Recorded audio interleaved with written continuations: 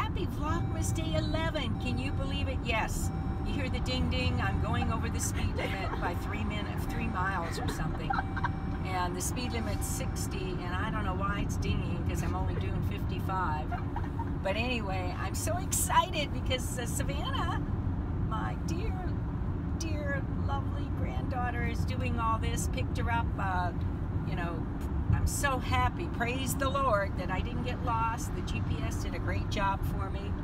And uh, it was, the weather isn't that great. Uh, it's overcast, but the good thing is it's not raining very hard. And uh, we're blessed that so far there weren't too many delays. The traffic isn't too bad. So we should be at our happy place at about 1.30.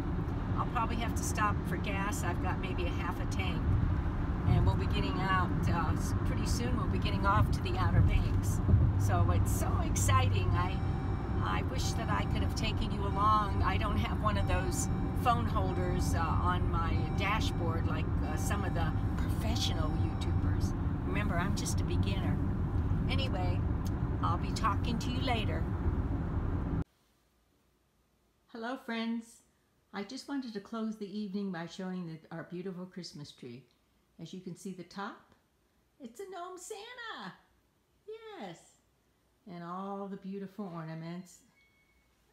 I'm not sure this does it justice as far as looking at all the beautiful ornaments that you can see, some very special ones, some fish and some seahorse and some gnomes and a little girl ski ski ski outfit and it's just so pretty. So we are at a happy place. Uh, we had a good trip down and uh, very productive unloading our van and so I'm going to bid you a good night and we will see you tomorrow. Have pleasant dreams.